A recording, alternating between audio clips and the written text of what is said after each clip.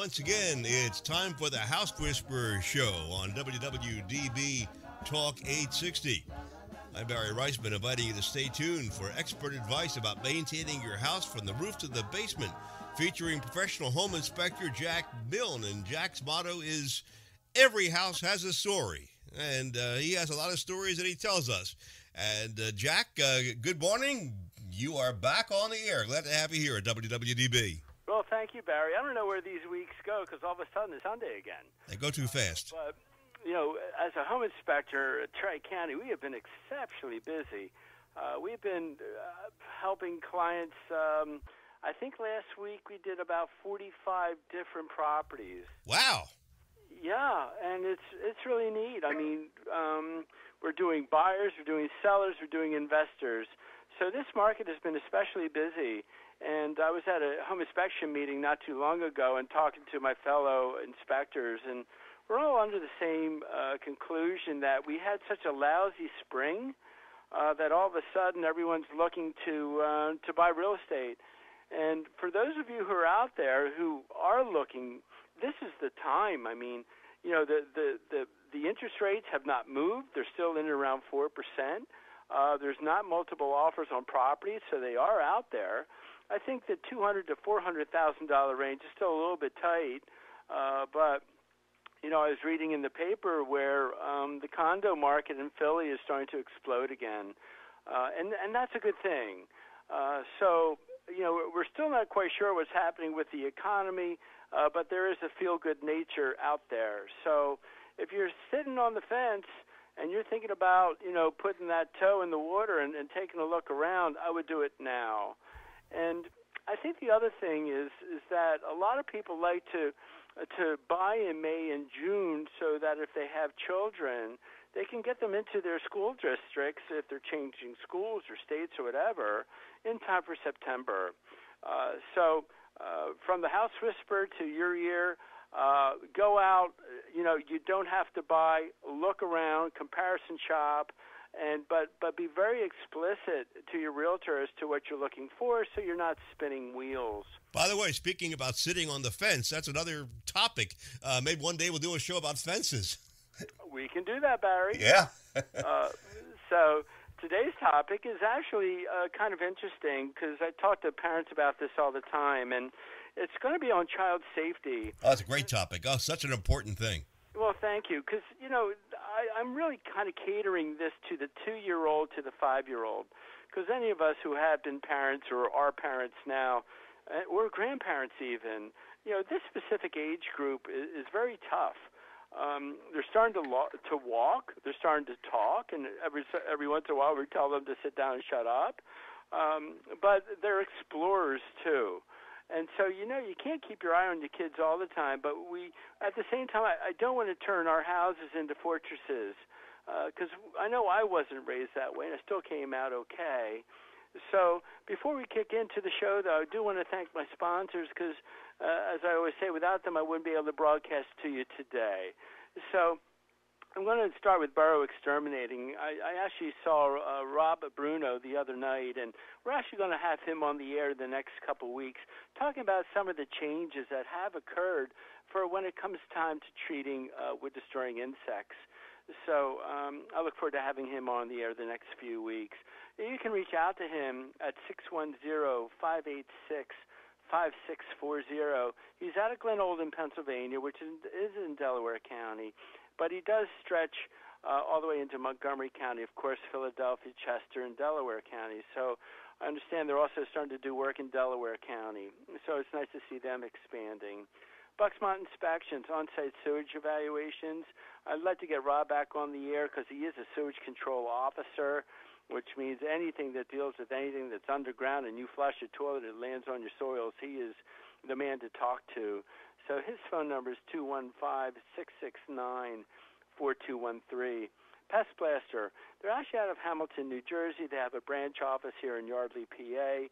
They do radon, mold uh, testing, wood destroying insect evaluations, as well as pest removal. So if anything um, is is kicking your fancy there, 215 295 5555.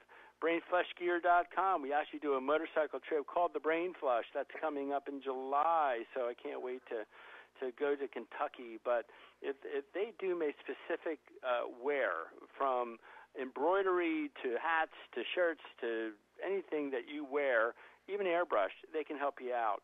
And their email is contact at brainflushgear.com. And finally, Tri County Inspection Company. I always seem to save the best for last. We serve 15 counties um, from the Lehigh Valley all the way down to Salem County in New Jersey, Delaware, Chester, Philadelphia, etc. That list goes on. But we're out there for you. And uh, our best number is 215 295 2030. But in the Lehigh Valley, if you're listening, 610 346 7880. And if you're in South Jersey, 856 853 4224. Please visit our website, which is tcinspect.com. So, as you all know, I like to visit the email box. I'm always curious as to see what comes my way. And Jeff from Malvern commented on the show, uh, What's in your toolbox?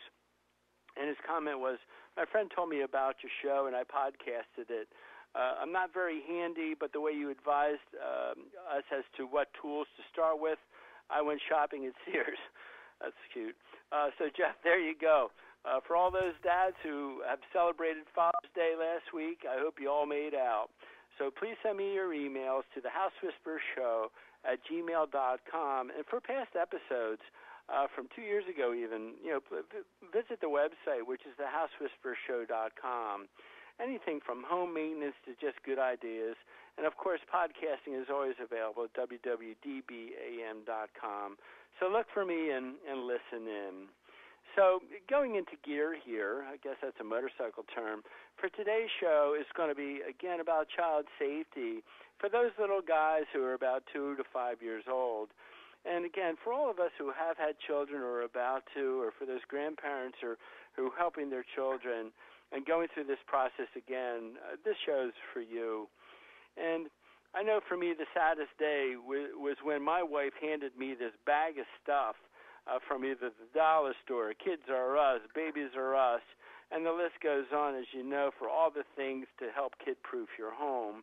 And what I find ironic is that, again, uh, in my family, there were five five children, parents, moms, and dads, and a dog in the 60s and 70s, and we actually did a really great job as as to you know controlling the the kids. Uh, but now this this kid proofing is actually a multi-million dollar business. So, and I think like anything else, they put, try to put the fear of God into you that you need all these devices uh, to prevent your children from getting hurt. But I think again, it always comes down to good parenting. So for this show, I'm going to be a little bit more practical because I think anyone can plug, you know, one of those little receptacle protectors into the old style plugs. But today's receptacles actually have a gate, and these are brandy new, folks. I mean, they they've been on the market now maybe five months uh, to protect to protect either little Johnny or Jenny from sticking things in the receptacles uh, but again, later on this one, I know I did that as a kid. I put the key in the sc- in the in the receptacle. I, it knocked me on my butt, and I did it once, and I didn't do it again. But this is how we learn sometimes. But w- let's start with the stove. I think this is probably one of the most important things to talk about because I see these new electric stoves that actually have the heat below the glass. And at, at two years old, when the child is walking and almost talking, these new stoves really flash on quick. I mean, within 20 seconds. I mean, these these burners are hot. But what's most important is that they also flash off quick. But the top of the the countertop or the top of the stove is still hot for a good 20 minutes. And as adults, we can see this little light glow that says, "Hey guys, it's hot." But little people will tend to sense the heat, but they may not see it. So it's hard to teach a child that red is hot and especially in and around the kitchen. So um, this is one that you have to pay particular attention to. And some of these, as I call them, idiot lights, are on the cooktop itself. So you have to look straight down between the burners to say, wow, it is still hot. And it's not only for the kids, but I do talk to parents who or families that also have a cats, you know, that tend to walk the countertops. But I'll tell you what, this is like the cat on the hot tin roof. This is going to be the cat on the hot oven uh, and cooktop. So they'll do it once and they won't do it again. But you know, you have to be very careful with that. Kitchen cabinets, I think always protect the cabinets below the sink. I think that's the most critical uh, sink because this is where we keep our chemicals. And it's not only the Drano, but it also tends to be the Windexes, um, you know, the uh, the stuff to clean the granite or, or the uh, countertops or the wood cabinetry. So it's just full of, of chemicals. And my wife gave me this magnet type child device that gets installed on the inside of the cabinet. So the magnet helps deactivate it. And I think this is probably one of the best devices I've ever seen. Um, and you could be either King Kong or Godzilla and not open this cabinet. But as a home inspector, we have to seek out this magnetic, what I call key, to see beneath the cabinet. If it's not available, honestly, folks, I can't check it. So they tend to attach it to something that's magnetic, uh, be it the um, refrigerator or the side of the refrigerator, uh, the top of the stove. I mean, if you have one of these devices and you know your home is up for sale and going to be inspected in the short term, uh, just make sure you keep this key available for the home inspector.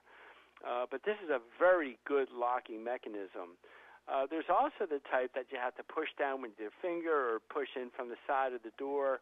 Um, these tend to, at least in my eyes, be a little bit more problematic because sometimes it's hard to reach all the way in to deactivate it. And um, uh, that was one I wasn't very excited about putting on in my home. Uh, so I gave it a quick try, and within a few weeks, I took it back off. I found it was more of a nuisance. But you know, one of the things that I try to do is keep one drawer available for the kids, and that would be the Tupperware drawer. Can't get hurt in there. Let them play with the lids, let them bang the pots. But I think if we give them one drawer that they can have fun and frolic in, they won't be tempted to, to go into the other ones. Um, like I said, the kitchen sink, though, is the one to, to protect um, and, and do your best for that one. So, how about this one? I have a neighbor who has an in swinging basement door. So most basement doors open out. So when you want to approach the basement, if you have to open the door and it goes into the stairwell, that's an automatic falling down for a small child because they want to hold on to the handle, but they can't reach that far. So for those of you that have that in-swinging basement door, my suggestion would be is get a new door, get it pre-hung that can swing out. Granted, it, it may cut down on a little bit of your traffic uh, because you have a door that's in the way.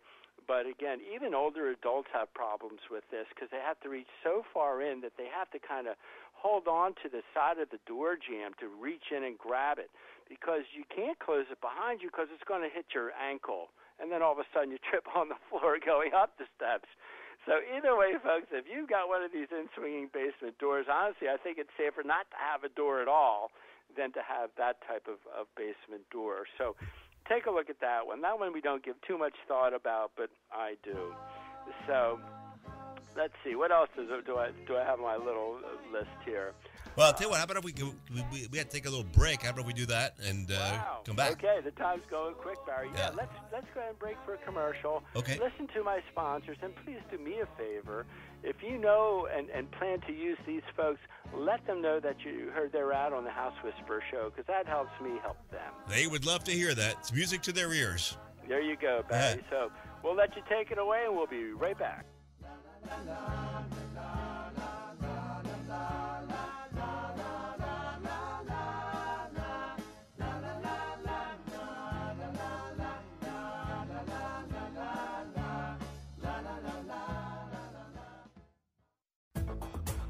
Boro Exterminating has been specializing in wood destroying insect inspection and control for over 40 years, serving Philadelphia and the surrounding counties. All inspectors are state certified and ensure providing their clients with professional inspections and treatments. Boro not only performs conventional termite treatments, but also handles special services like historic buildings and homes with wells, creeks, or ponds. The client is assured that all treatments will be performed safely when you hire Boro to do the work. They also provide radon testing in their service area. Boro's full time office staff is available to help you schedule an appointment. Just call 610 586 5640 or send an email request to boroinspects at verizon.net. That's 610 586 5640 or email at boroinspects at verizon.net.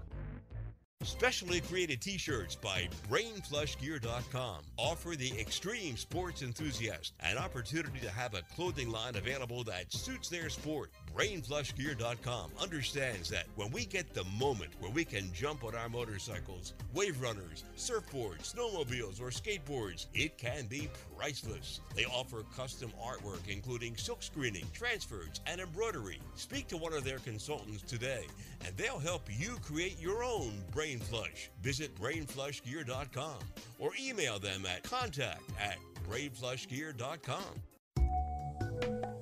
For your septic inspection and testing needs, please consider Bucksmont Inspections. They've been serving the Bucks and Montgomery County areas for over 15 years. As members of the Pennsylvania Septage Management Association, the Pennsylvania Association of Sewage Enforcement Officers, and the Pennsylvania Association for Professional Soil Scientists, Bucksmont Inspections can inspect your existing septic system or test for your new septic system placement. Please call Rob Bowie at 215 669 4213 and say you heard their ad on the House Whisperers show. As the summer months quickly arrive and the temperatures gradually rise, so do the odds of all those filthy and unwanted critters invading your home like rodents, roaches, termites, and flies. Oh my! This summer, if you want to feel safe and secure from a possible creeping, crawling disaster, do yourself a favor and call the exterminating experts at Pest Blaster for all your pest control needs, including tests for radon and mold. Please visit pestblaster.com and you'll be sold. 215 295 5555.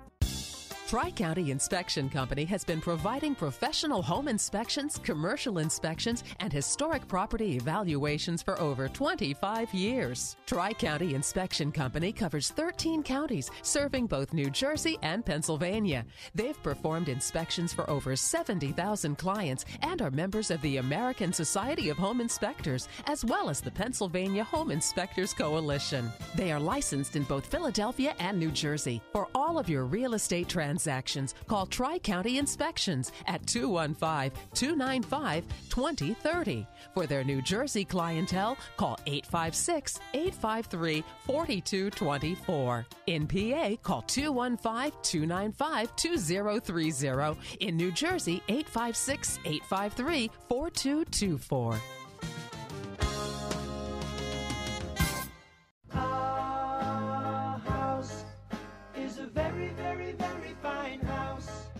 And we're back once again. Jack Milne is here, the House Whisperer.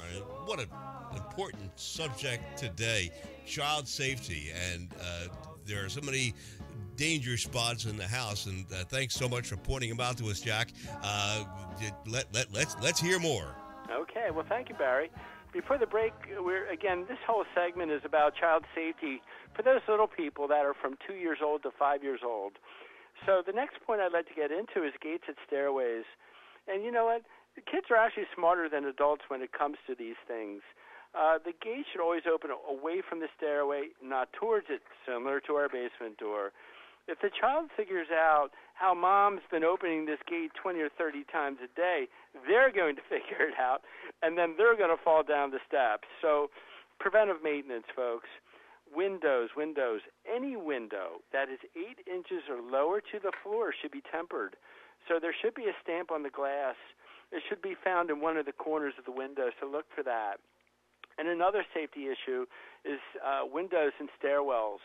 Uh, because if kids fall down the steps, they can get hurt when the glass breaks. So tempered glass is going to break like your front car windshield. It breaks into a bunch of little pieces instead of large shards. Uh, and you can replace a sash if you have to. Okay. Next is railings, and I can't tell you how many homes I've inspected, especially split level homes, where there can be four sets of steps that don't have any railings. And for these young people, as they want to either crawl up the steps or they want to slide down the steps, most kids get hurt falling down the steps. So as adults, why not help them hold on and show them how to hold the railing? And especially when they're young, they use two hands. Uh, and then eventually, as they grow, they'll go back to one hand. But most homes have 13 steps. Those of you who have nine foot ceilings on the first floor may have 15 steps. But how many steps doesn't matter. Safety does. So railings should be installed on open walls uh, to prevent what I call the parachutists, because I was one of those too. Um, and they're the kids who jump off the end of the tread to the floor below. And again, um, I know I did this uh, in, in the house I grew up in, leading to the basement. So um, when the railing's in the open side, it's harder to it's harder to do that. Um, and keep in mind, from two years old to five years old, they're quick. You know, so the one moment they're here and they're gone the next. So no matter how much you holler, you know, they're they're in the other room already. Um, I would suggest locking the doors uh, when home alone, um, and that's to the exterior.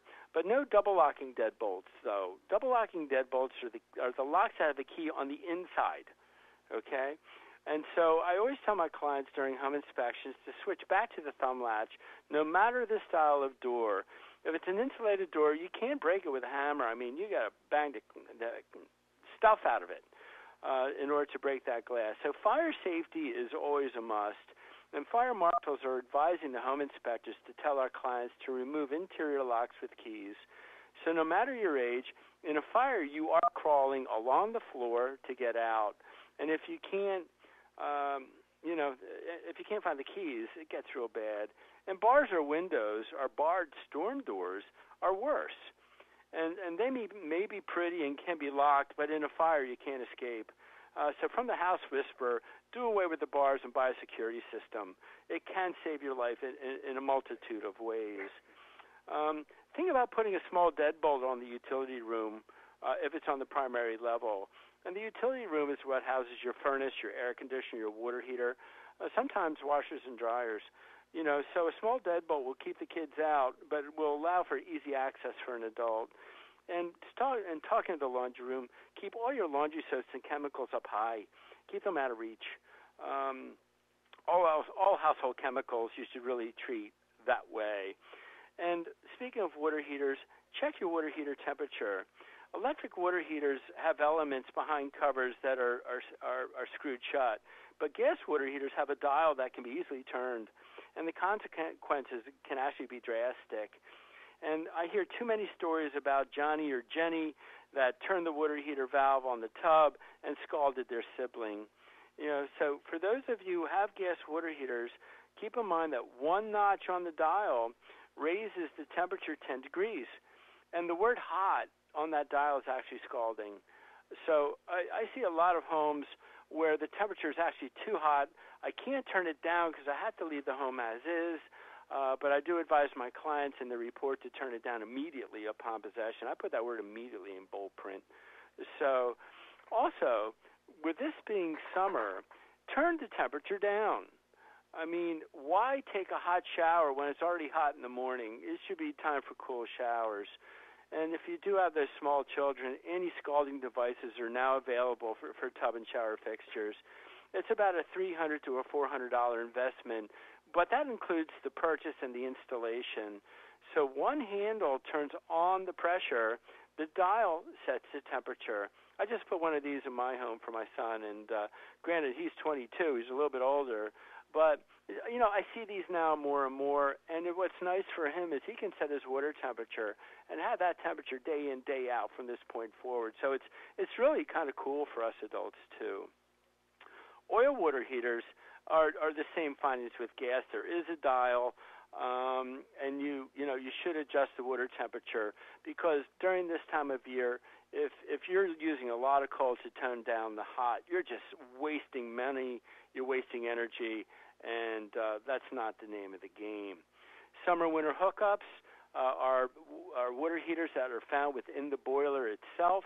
There's a dial behind a, um, a Honeywell controller that can set the temperature. So during the winter, those settings should be set at 180, 160. Uh, but for the summer, lower it. It again saves money because who again who wants a hot shower on a, on a hot morning? But last week I did a home in Levittown where the high limit was set at 200 and the low limit was at 140 degrees. So this actually allowed scalding water to exit the faucets or the tubs. Um, so, and, and again, a tremendous waste of energy because with these coils, the boiler will fire to 200 degrees every time uh, it, hot water is demanded. So I do advise my clients 180, 160 for the winter. Uh, try 160, 140 for the summer. Uh, if you have to, try 170, 150. But there's always a 20 degree difference between the high and low limit. And you'll find these two red dials behind this Honeywell control if you have a boiler with a coil. And um, I always tell my clients to check it right after the oil suppliers come in because sometimes I like to turn it up higher. And the only reason for that is they come to visit your house a little bit sooner to put that oil at four dollars and twenty five cents a gallon into that two hundred seventy five gallon storage tank. And the moral of this segment is, guys, don't turn your house into a jailhouse.